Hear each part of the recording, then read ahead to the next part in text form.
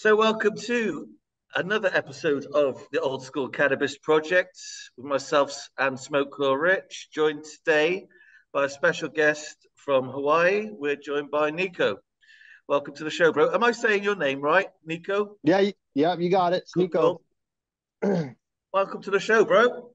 Thank you. Thanks for having me. Super excited to, to talk story, talk shop about uh, you know, skunk line and genetics and also your heirlooms, which is super exciting because uh, you, you, know you just as you guys have been talking about, everything's been so uh, monoculture, pretty much the same old crap. Well, yeah, I just want to say as well, thank you for all your support. Cause you've bought my seeds uh, a number of times, and yeah, I've definitely appreciated your support, man. Thank you for that. So tell us what you have got over there and what you have grown so far. So so far from yours, I've started a couple of uh, just a couple of seeds, and they they sprouted up. I got a male and a female, and I had one of my um, skunk haze crosses from my old genetics, and uh, just let them kind of do their thing. For me, I recently have started trying to grow again after a you know almost five plus year hiatus after getting divorced. And um, and so it was exciting to uh, to you know start start from scratch. But um, so i got a couple of plants that came up and did a quick real quick pollination of the the male to female. Didn't know what they were just let them do their thing. And i'm already getting some really exciting phenos out of that. And so what i like to do when i sprout seeds is um, I'll just throw them in a cluster and let them all come up together, put them in the garden, and that way you're not waiting long periods of time waiting to see what things are. And then as you see the phenos that you like, then I pull them out and, and either regrow or or take a clone set, right? And so you get really quick results that way, looking for the different phenos that we want. And so I found a uh, uh, uh, blueberry that you were talking about the blueberry i found a it's, it's a little tiny. Just yesterday under the canopy of the other three bigger girls this little uh, seedling came popping out and um, yeah straight up blueberry man. Like full on like you're squeezing a blueberry in your mouth. I can't wait to try it. But um, it's interesting when you start diving into the the how many different phenos can come out of any different genetic set right? Yeah. And so out of the, I think there's five or six plants growing in the cluster from that seed cross. There's four that are almost identical. And then and then there's this little offshoot of a completely random, you know, uh, pheno flavor, terpene profile. And so hunting for those is is at some some stages anybody's guess where you, what you're going to get out of stuff. And so you guys were talking about earlier, you know, culling things too too early before you know what what they're going to be, you know? Yeah. And that's super important because that happens a lot, I think, where we tend to go down uh, uh, you know, a lineage line without paying attention to something else that could potentially hold, you know, hold the gold. And uh, that's really important when breeders start crossing pollinating things and and they get stuck on you know just always going for that one strain and then and then running with that versus allowing everything to come you know to full fruit and seeing what what's available. Yeah you know when we joined the conversation um i did i didn't mean to cut you off but i wanted to capture everything on camera. You started off by saying um, how you first got to become aware of genetics, I guess.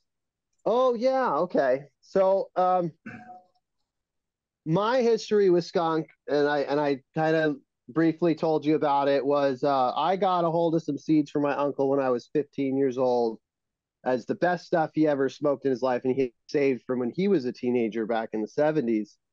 And uh, out of about a hundred seeds I got, only a couple of them to sprout and uh, one of them was just pure roadkill skunk. And mind you, I'm from Hawaii. I'd never smelled a skunk before, and so I only knew it as skunk weed after I visited the mainland and was driving on the road, and I and I start smelling skunk. I thought there was a big patch nearby, and my cousins are holding their noses, and I'm puffing the air like this is the best smell I've ever smelled.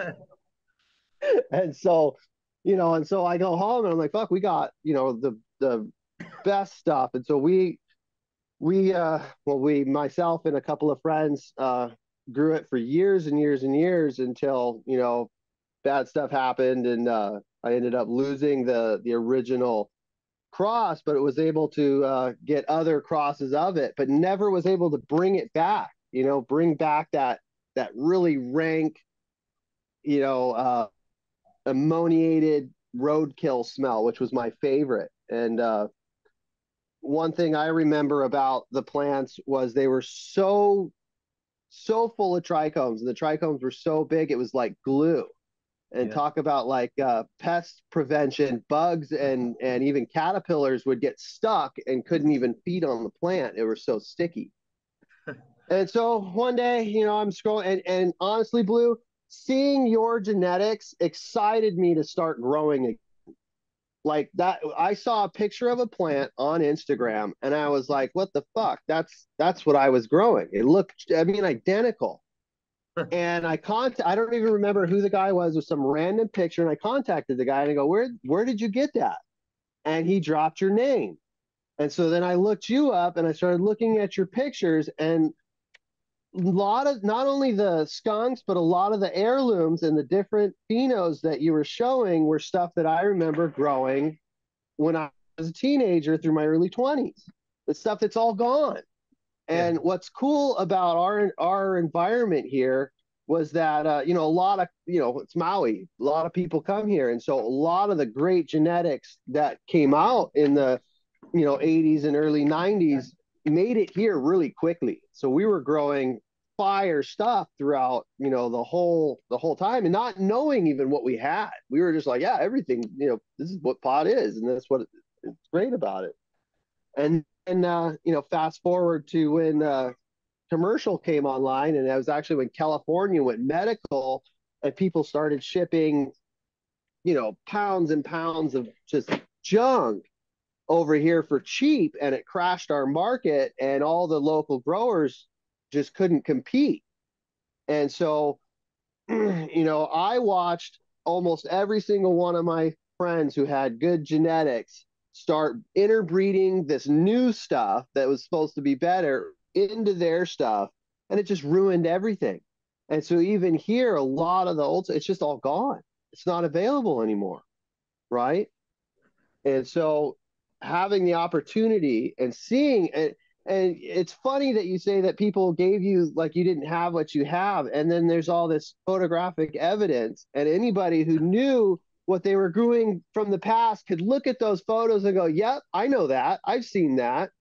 So it's it's it took me about 30 seconds to go, "Fuck, this guy's legit." And that's why I, I hit you up and I was like, "I need some of that."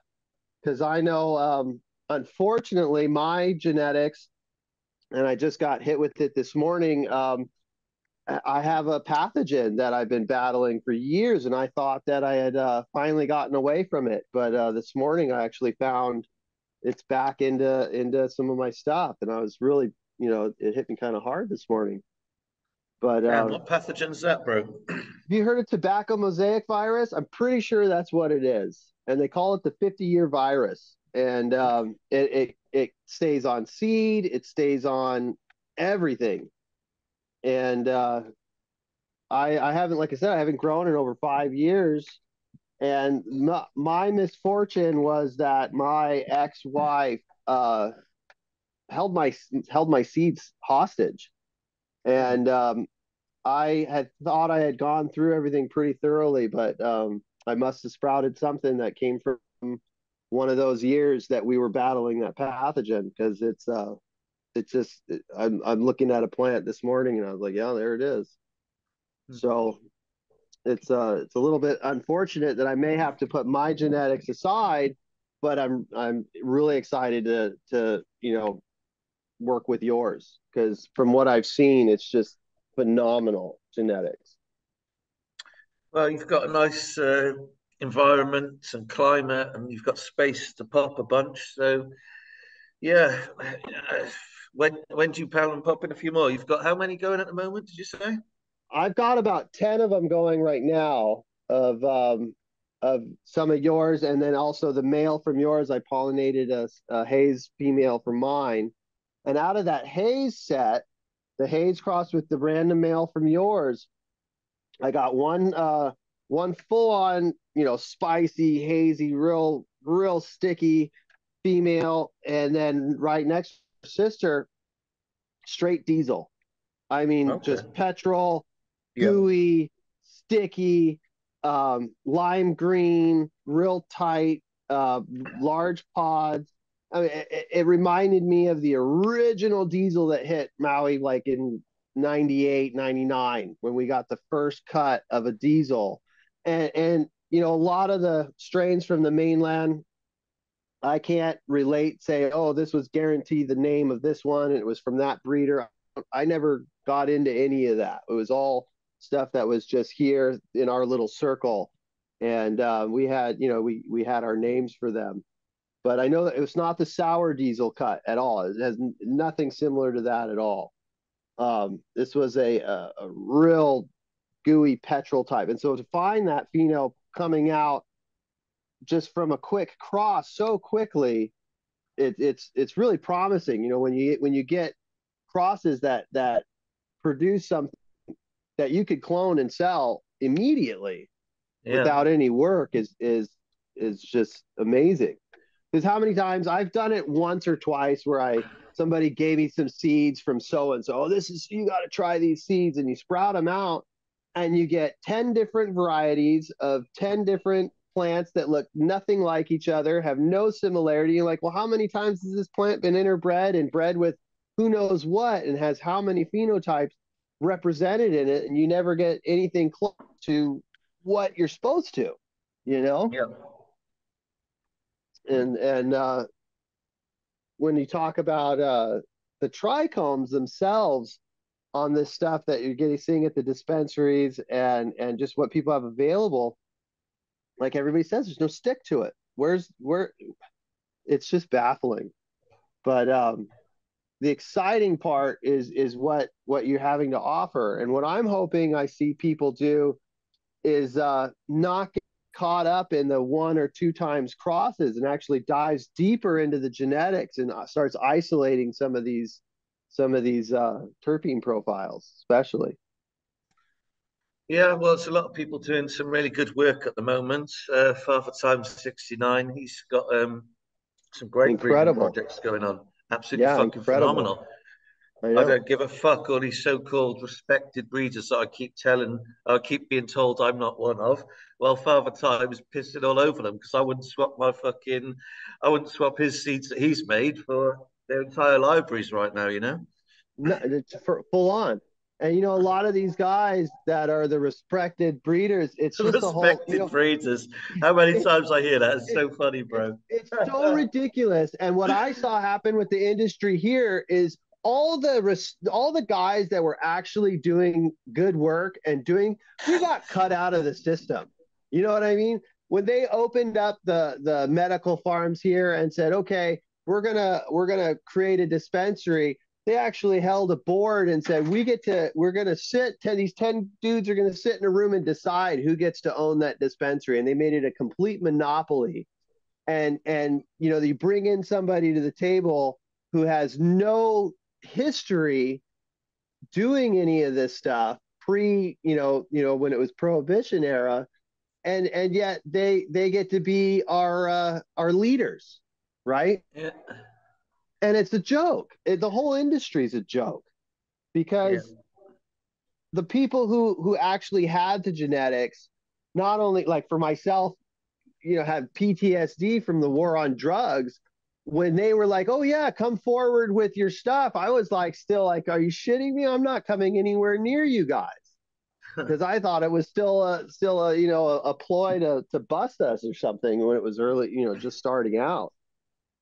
But uh, the the guy the guy that used to fly the helicopters to cut because we used to hide in the bushes with helicopters blowing the grass trying to uncover our grows it was it was some heavy stuff And that the year I discovered used- my fucking skunks, bro, I had the same shit. People don't realize. People were hitting me up going, "What state you in?" When they saw my pictures, I was like, "I'm not in fucking America. I'm not in any legal state. I'm on a fucking mountain in in Europe with fucking helicopters flying by every fucking half hour, and I can see the fucking pilot in it." yeah, yeah. Talk about having your heart pounding, right? Yeah. And uh, that same dude was one of the guys who applied to open the first dispensary.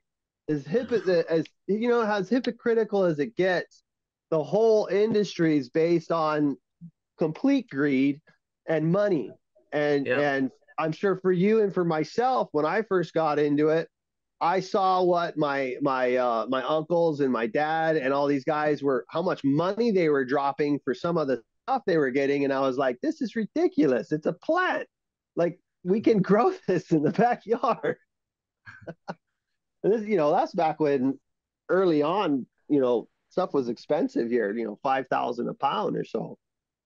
Well, I haven't uh, told this story for a little while. I did tell it, I think, on the Future Cannabis Project before they took that episode down. But I mean, for us over in the UK, a lot of people started growing purely for like quality terms, not so much price. So the, obviously that's a factor for everybody. But like for a long time, much of the UK was exposed to absolutely like diabolical shit quality hash imported from Spain and Morocco, and the stuff like the Americans, you've never seen it, you've never experienced it, and like you're lucky. But it was like the most cheapest, shittest hash ever. Like what they would essentially do, they'd take like four ton, uh, a ton of like decent quality hash maybe in Morocco, and then they would just they had this formula to mix and blend it, and they added like there was something called the Cannabis Resin Impurity Survey Project, CRISP, and they analysed some samples, and some of it was up to. Uh, I'm not saying I smoked this particular one. We weren't this quite unfortunate, but some of it was 80% soil. They found melted vinyl records in there, coffee, geez. henna. It was just basically uh, an adulterated, virtually poisonous form of fucking hash. That's what I started smoking as a, a 16 year old, a 15 year Oh old. my That's what I was exposed to. And for like two years, this hash, um, like I probably just got the stuff that had coffee, milk powder, and barbiturates added to it. I wasn't smoking the soil. Oh God. but I mean, we did used to get some kind of effect, especially if we ate it. But yeah, it was like I was like 18, 19 when I went to yeah, 18 when I went to university. That's when I first actually got to try real cannabis in a herbal and a flower Wow. form, you know? Wow. Yeah, I mean, growing up here, we were so fortunate. We were getting stuff that was, I mean, I I still am struggling to find the uh the feelings of of you know the past because we were getting stuff that was that one hit wonder. You would you you- and it didn't matter how many, you know, we were experienced smokers and you'd still get that that batch of stuff that would take a one or two hits and you'd be stoned for hours, hours. We Yeah. had one plant and have never seen it ever again. We had one plant uh, and it grew in a pot with three other plants that looked totally normal. And this plant was bleach white, had no green in it whatsoever. Buds were white, leaves were white, everything was white. And I thought it was, uh, you know, a, a nitrogen deficiency or something, but the plant grew from seedling to finish completely albino. And um, it it was the strongest pot anybody we ever smoked. And we called it the lights out because everybody, I thought you have to sit down to take a hit.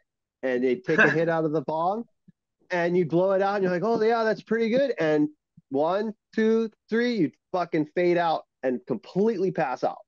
Like oh my it was- god. it was the craziest experience and i had uncles you know older men i'm in i'm like 19 at the time and they're like i'm like yeah yeah yeah and they're like oh whatever kid and i'm like sit down and sure enough you know, and, it, and it was the smoothest tasty everything was normal and then you'd be like yeah yeah right on and then you'd get dizzy and pass out and you'd wake up with this euphoria that you had just gone on like this epic adventure or your mind was just like rolling with with emotions and feelings, and, and it was just this incredible experience. Do you know what it was?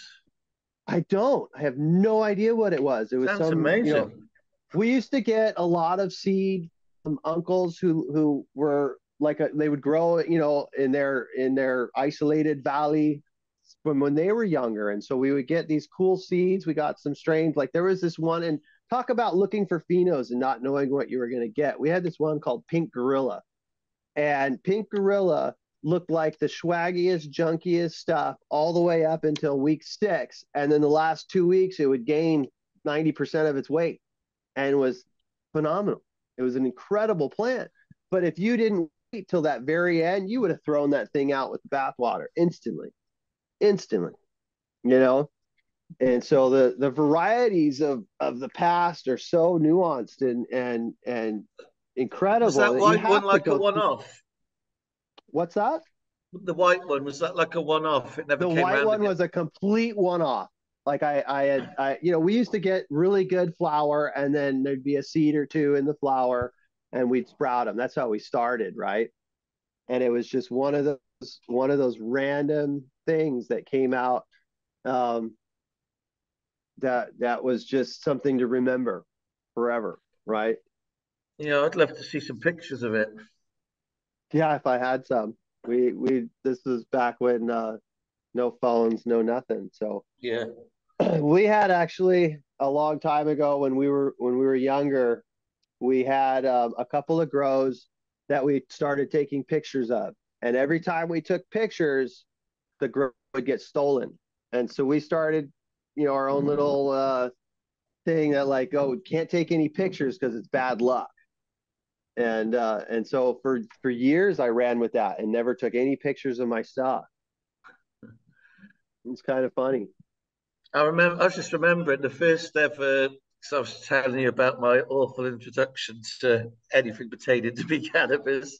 Was um, the first real good um, actual flower that I got to try was Dutch Passions Passion One that um, a friend of mine grew outdoors, and that actually turned out decent considering it was grown outdoors in Wales. And uh, yeah, he brought it down to my university, and I started selling that. And um, yeah, it was, that was pretty decent. And then I was lucky enough to meet a friend, and he had this link with incredible, incredible hash. So we got to try lots of different hashes at university, mainly Moroccan and um, Charas, and uh, also some really good, good quality flour. Then came into our lives. We knew somebody uh, who was friends with Shanti and was able to get his um, greenhouse stuff from Switzerland. So I was smoking sh- and selling Shanti's um, herb in university. That was a pretty cool time. Um, actually met Howard Marks back then as well. If you, do you remember the smuggler, Howard Marks, the famous Welsh smuggler? Oh, is he Smuggler. frozen out there?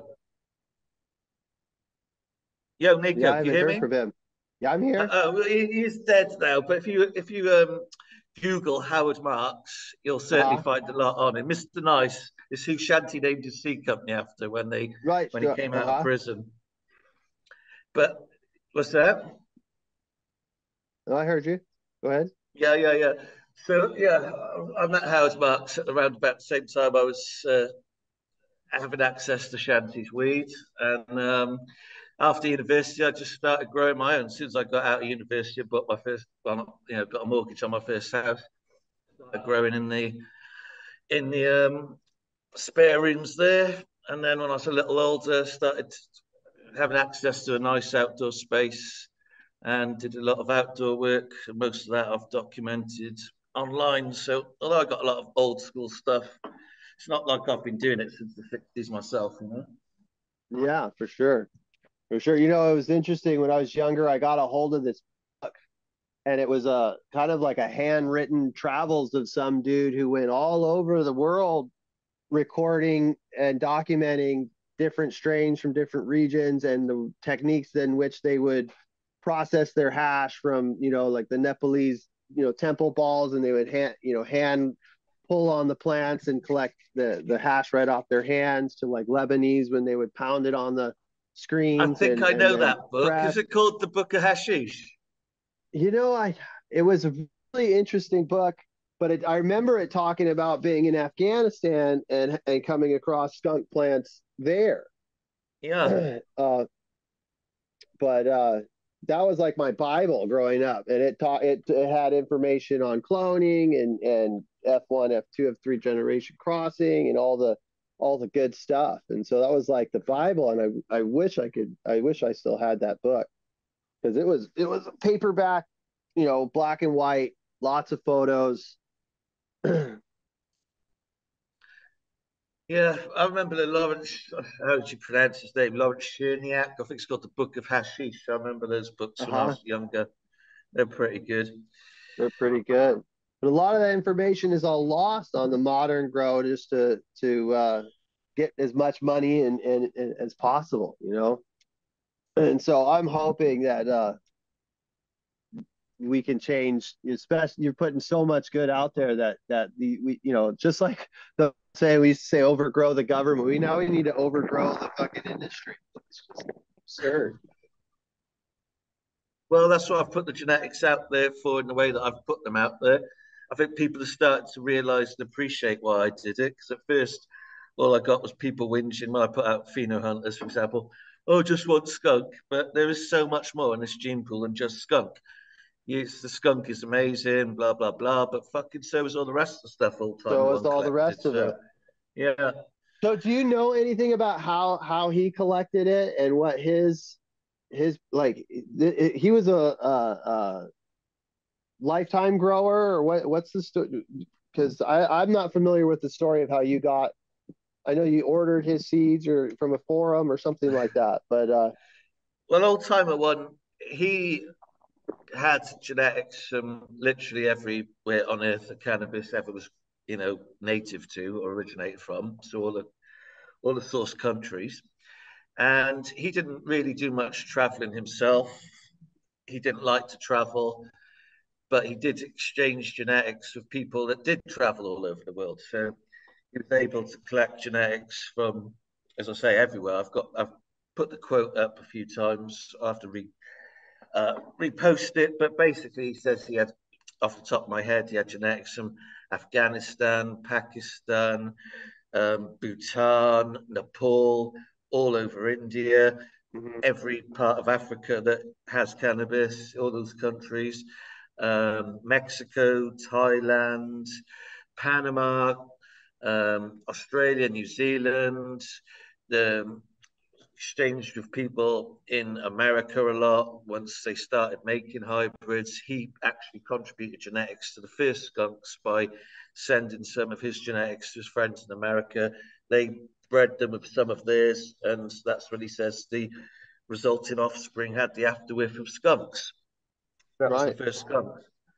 And then he had access to the early hazes that were grown. Um, and then he basically kept all his genetics private to himself. He didn't really put them out there too much.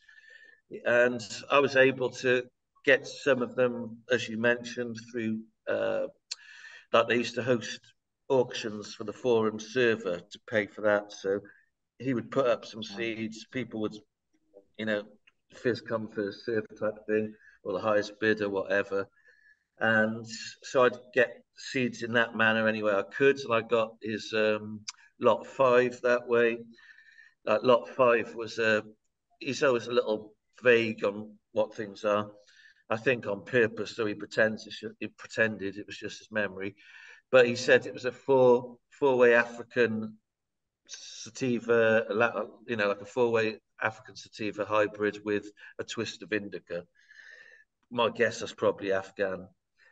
Um, mm-hmm. But as to what the four African ones were, he didn't say, but I would guess that they could most likely be Durban, um, a South African one, Malawi, and Nigerian, because those seem to be the ones I saw him mentioning most in posts, the other posts, you know.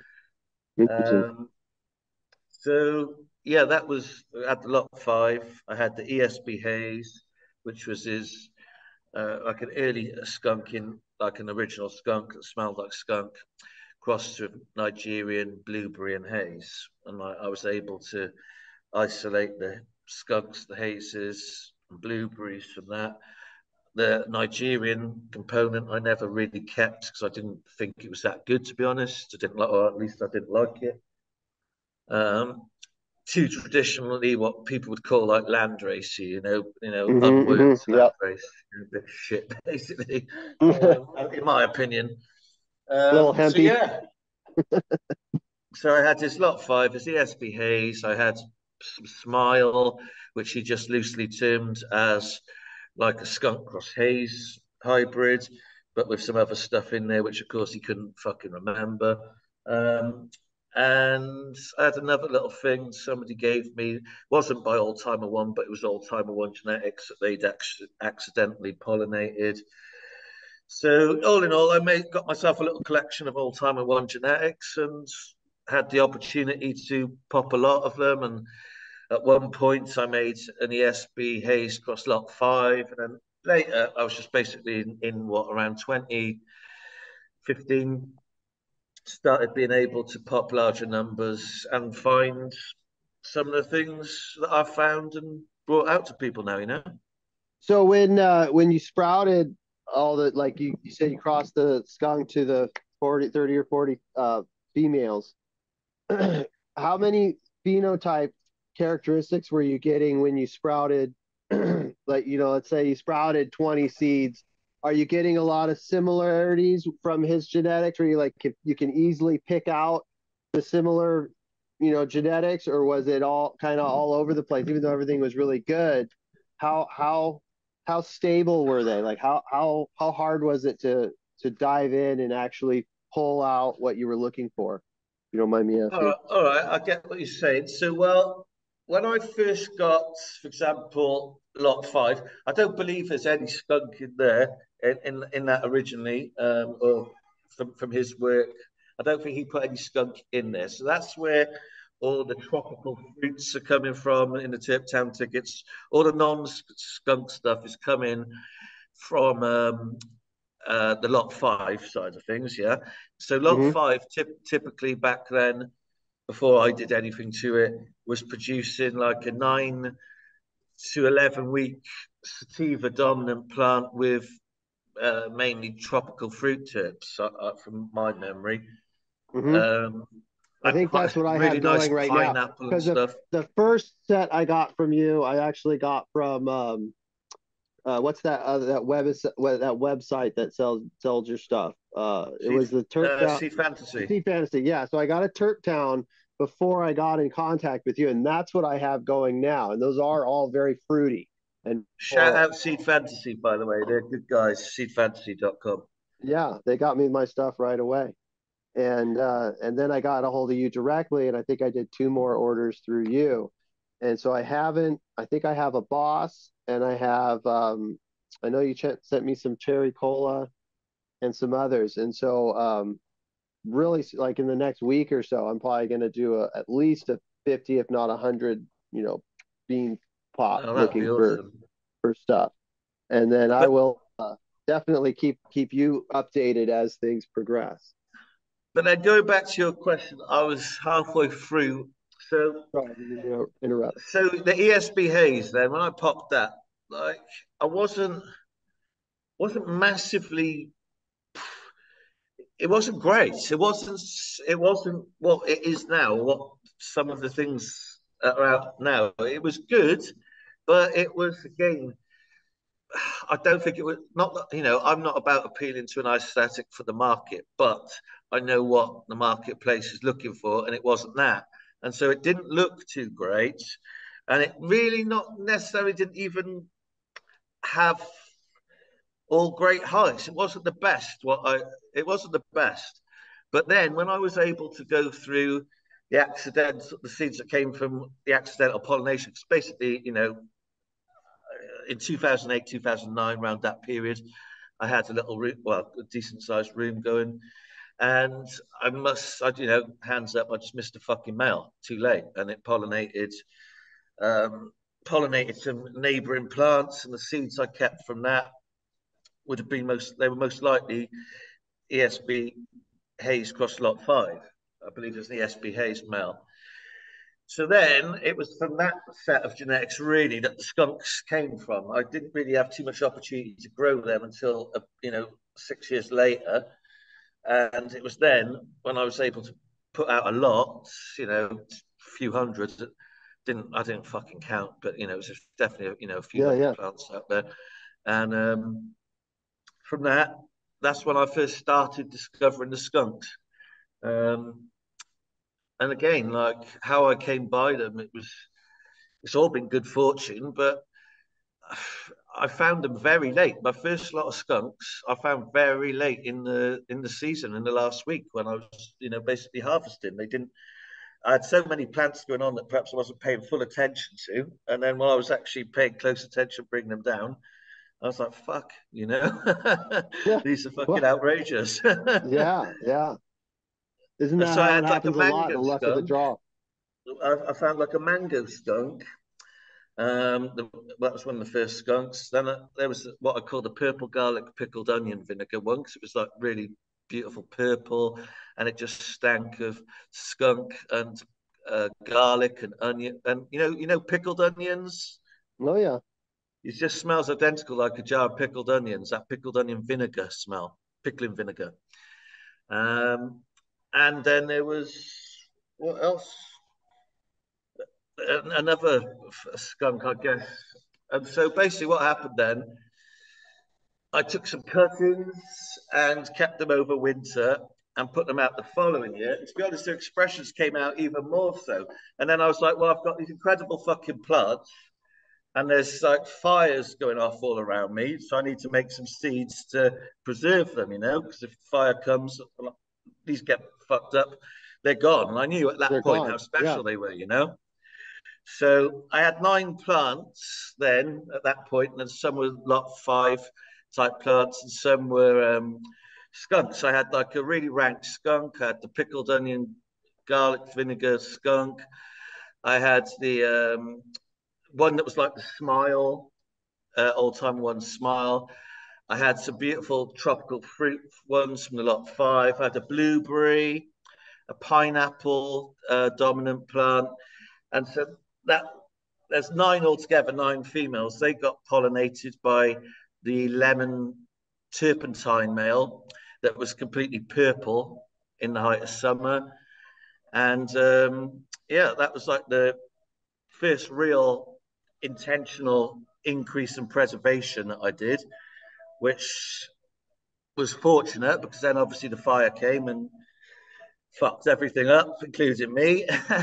and yeah. um, then after the fire, after I was recovered from that, I went back, took those seeds that I'd made from the nine plants and brought them somewhere else and did the big the big breeding projects, which has resulted in the seeds that I've been selling for the past four so years now. At maybe. that at that point, you knew you had something that you had to reproduce versus just going into production to sell flower. Oh fuck yeah! 2016, yeah. I knew I had the skunks. I knew I had some. You're like, you know, I know I got something now. Yeah, that's amazing. But the thing is, I've always known old timer one stuff was amazing. That's why, pretty much, once I started growing this stuff, I never really grew anybody else's again. You know not yeah. too much. And certainly now, I've got no interest in anything else. You know what's interesting is is when you have something that's so wonderful and you're competing against the market. And I I watched this firsthand where I could have my absolute fire skunk and not give it a name, say here's some flower, and then give something mediocre some stupid name, and the buyer would buy the mediocre over the fire just because of the name. And I feel like that's where our industry has gone. And so it's become all marketing, right? And and if we don't market ourselves right, then all of a sudden we get left behind, you know? And uh, it's it's it's just cool to see that that it's finally spreading. The fact that I found you is is oddball because I'm barely on anything. So um, it's just uh it's just a, well, it's just it's a strange one because I've got like currently I don't know around five thousand followers on Instagram, but I've had like thirty five accounts, and most you know, at least 25 plus have all had five, six, eight, nine, ten thousand, you know. Mm-hmm. So I've reached a lot of people, but I just don't have like the appearance of doing so based on my followers, you know. Yeah. Yeah. But basically, every time some loser snitched up an account, I'd start a new account and I'd gain new followers that didn't know of me before. So I was putting in the work to get them, you know. Yeah, you'd think that so your I've always just reached more and more people you, you know? through their more and fuckery. more people. yeah. yeah. Yeah.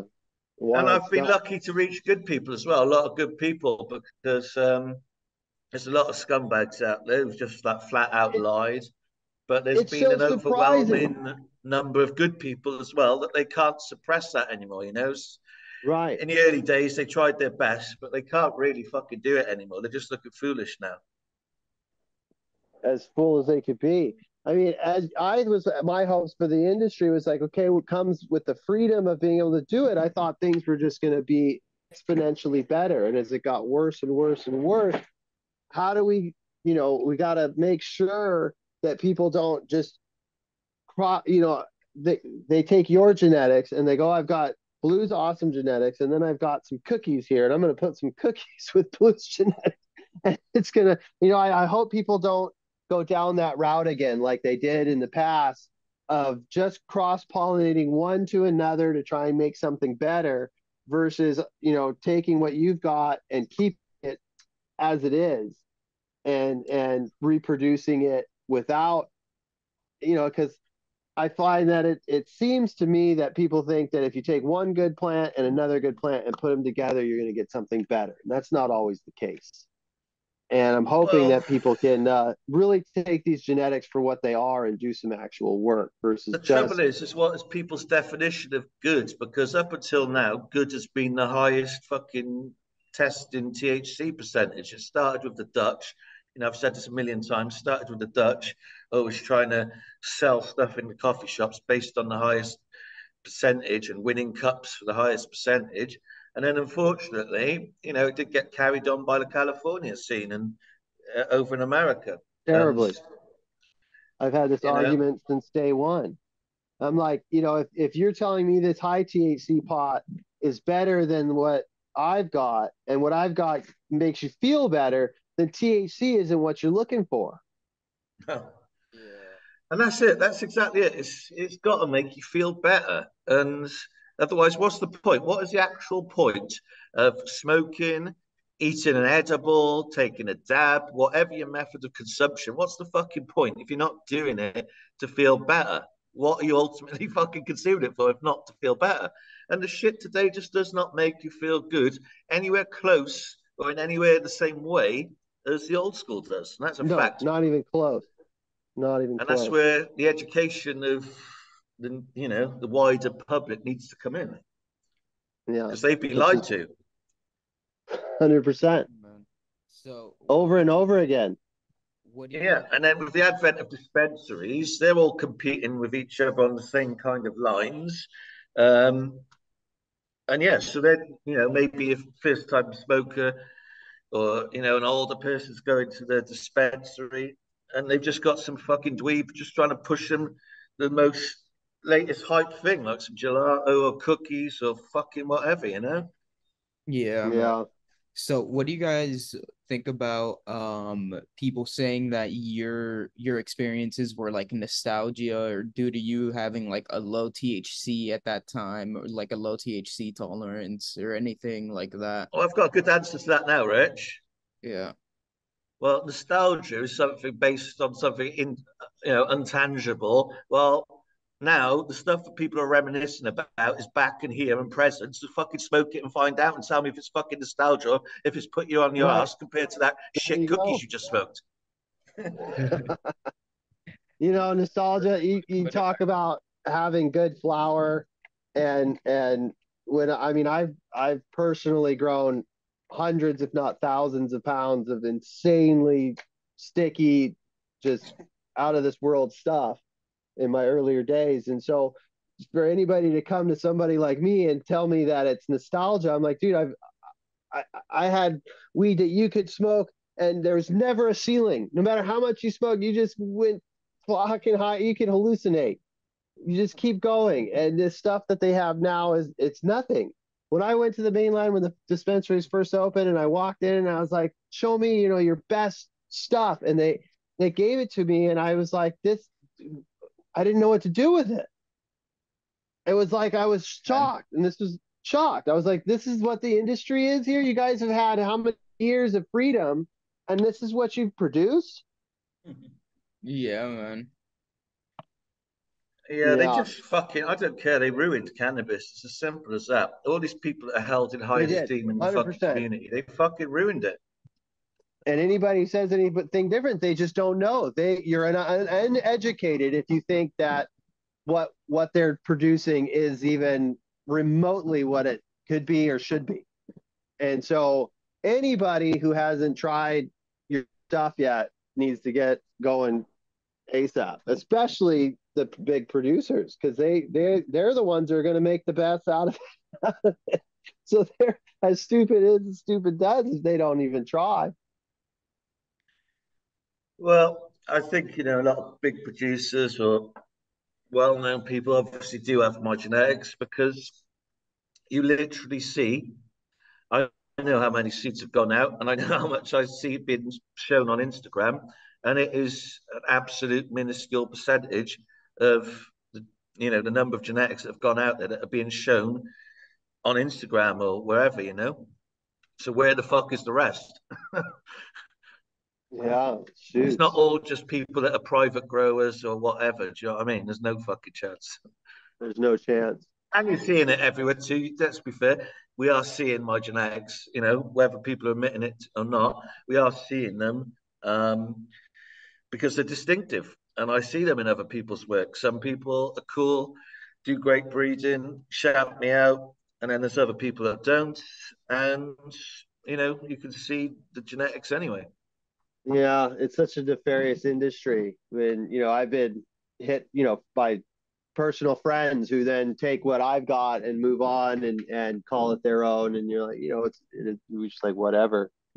But um it's uh it's good that it's available and it's so exciting to see and to see after years and years and years of of watching the the whole thing play out and then to see this new beautiful bouquet become available is it's it's just enlightening and wonderful.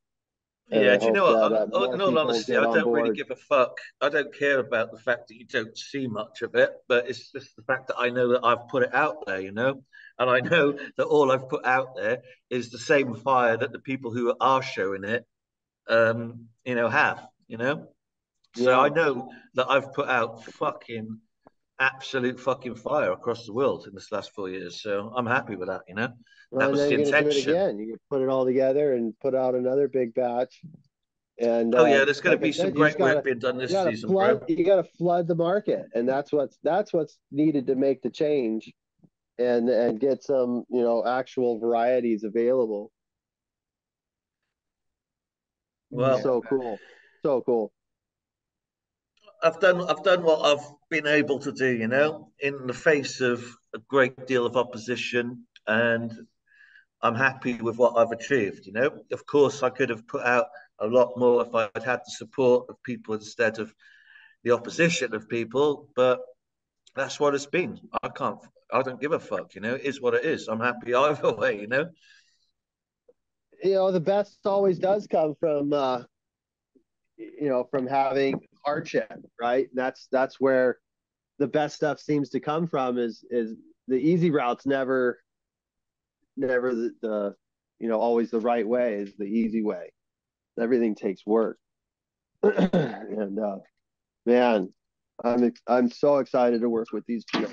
It's like bringing back a whole that talk about nostalgia just having something to work with that's not crap.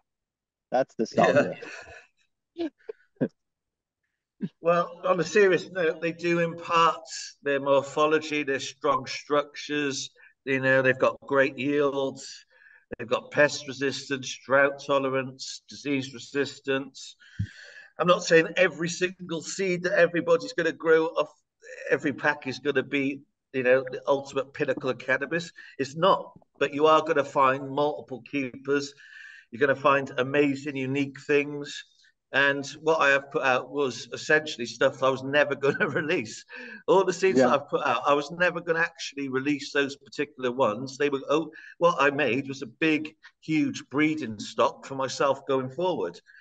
But where I was getting, you know, slandered by fat cunts like Matt Riot, um, I started to put out some seeds to show uh, that I wasn't lying. And then as so much vindication came in, and people loving them, I was just happy to carry on putting those seeds out because a they were any in any case just an absolutely unique new gene pool, so they're well worth the money just on that basis alone for people to have new genetic material to work with to breed whatever.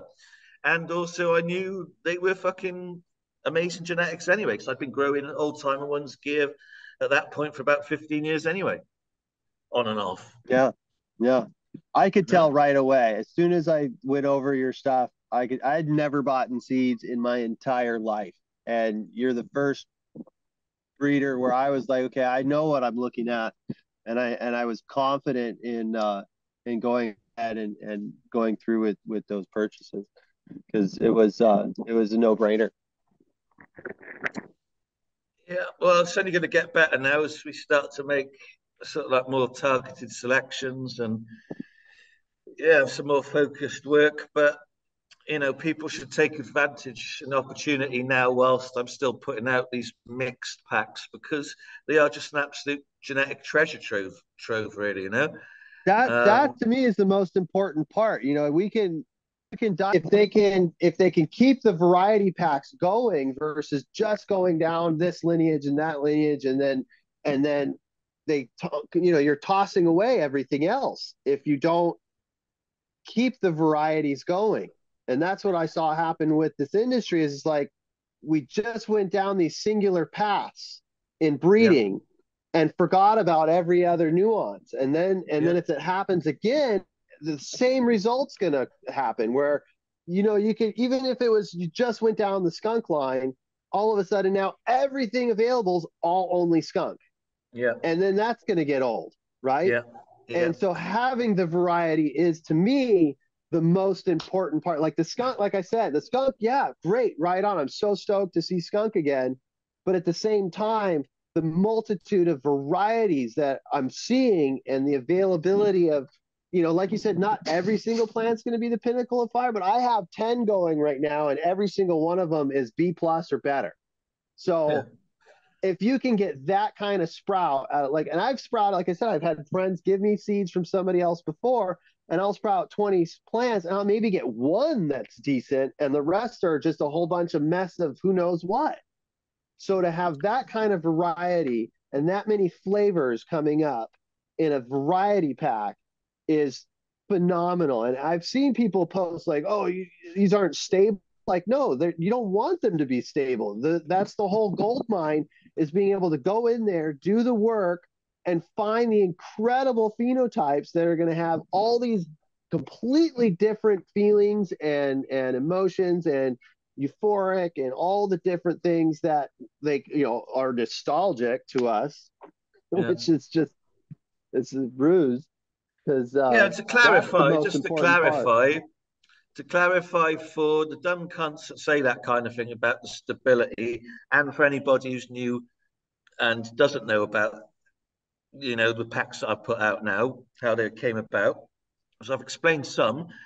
I preserved those nine original plants before the fire, and then after the fire, I was able to take a bunch of those seeds, germinate them, I ended up with about 200 in two polytunnels, uh, which I started documenting on Instagram back in 2018 um, or 19, I forget, either way. And um, then those 200 or so plants were selected down to around 60 to 70. I had 60 to 70 amazing females. They were all special and unique in some way a mix of skunks and hazes and skunk hazes and some blueberry and some pineapple fuel and stuff like that. So I pollinated all of those 60, 70 females with one classic skunk male that was just a fucking great male. Um, and yeah, that's what I've put out. And that's why there is diversity in, well, one, I, I pollinated a hugely diverse range of different females. And not only that, I took all of their seeds, put them in a giant fucking container, mixed them all together, and those seeds that I put out now are a, ran, a random mix of those 60, 70 mothers. So no two packs can ever be the same. Nobody will get the same, uh, um, you know, exact same results. And that's why people come back and buy, you know, most of my people who've ever bought do come back and buy again because there's more stuff to buy, uh, to experience in a new pack. Um, but yeah, so that was the whole point that, you know, I'd set aside the five mothers that went into the boss pack, the skunk, different skunk mothers, to put to put out a ma- mainly skunk offering. And the Tip Town tickets and Pheno Hunters were composed of different mixes of those other 60 females that not all were skunk, and you know, but they were all special and you know needed to be experienced by the wider community, you know. Yeah. so it's just a, a huge, and if you think 60, 70 females pollinated by that male, each of those female plants is likely to put out three phenos. So there's like 200 new things to experience, the experience. potentially, you know? Exactly. It's incredible to to Yeah. bring back that much variety and then to have people complain that there's a variety instead of a, a singularity. You're like, are you kidding me? Do you have any idea what you're able to work with right now? Like this is like bringing back, you know, going back in time. they are time and that's capsules. what I wanted. That's what I wanted to put out there is like how exciting, and for everybody who's new to this, and and new to growing, that should be more exciting than going and, and saying I'm I've got this strain from so and so, because that to me isn't exciting. No, exactly right. That's, as soon as I started growing, I started growing things that weren't obtainable on the street, like Malawi Gold or Yeah. whatever, you know. Yeah, Truly we had great stuff. strains here. We had Molokai Yellow, Kauai Electric, Pink Gorilla. We had this strain called Duckfoot that would grow three leaves and they were webbed, and and they're all they're all gone because everybody went into the new stuff and either cross pollinated new stuff into their old stuff or completely lost it through you know either death or or uh, or uh, raids.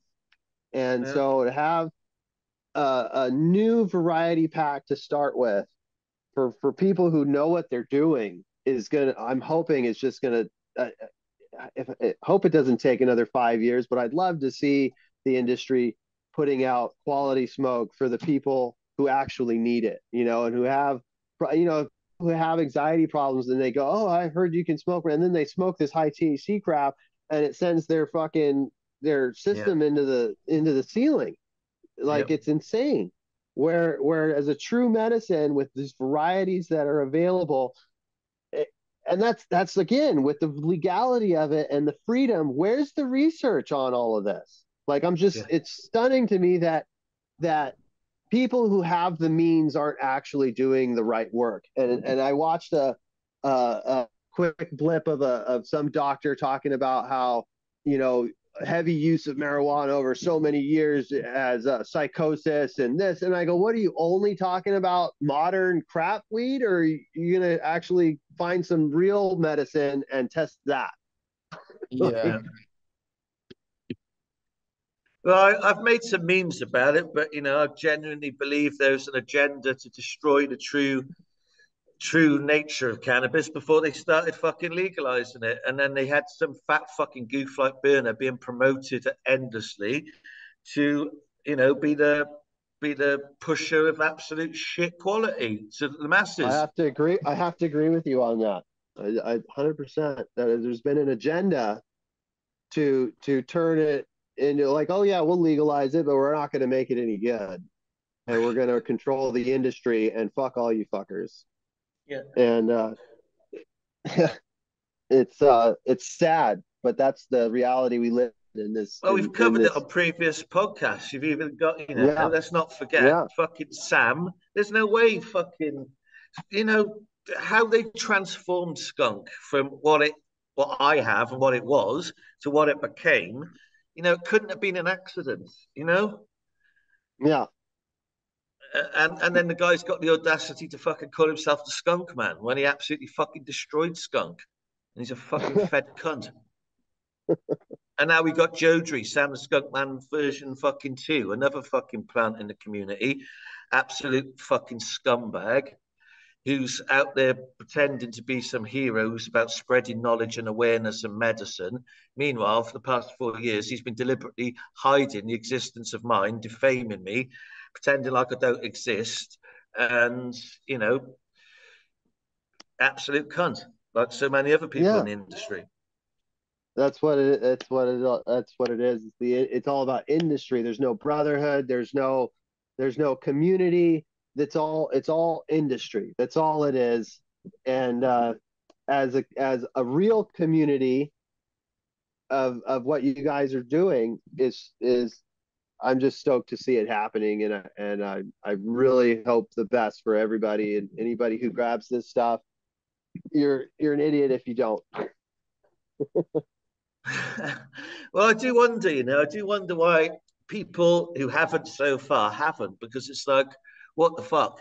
The evidence is, you know, every single day of the year. Um, you know, it's there that the that the genetics are fucking incredible. The price point has been accessible at some point in time in the past four years for everybody. I've had stuff from fucking being given away for free to twenty dollars up to whatever. You know, it's at some point it's always been it's always been fucking available. You know, it's not like I'm putting out 10 fucking seeds for a thousand pound, like that emergency shit from JBZ. Do you know what I mean? I can't, yeah, I can't imagine. It's it's affordable. It's affordable. It's more than affordable. Beyond affordable. Yeah. It's it's uh yeah, it's amazing that you were able to do that and uh we appreciate it. Real growers will always uh I think flock towards uh these types of these types of situations and communities because the like if as for myself i i quit smoking for two years because i couldn't find anything that made me feel good. It made me feel terrible.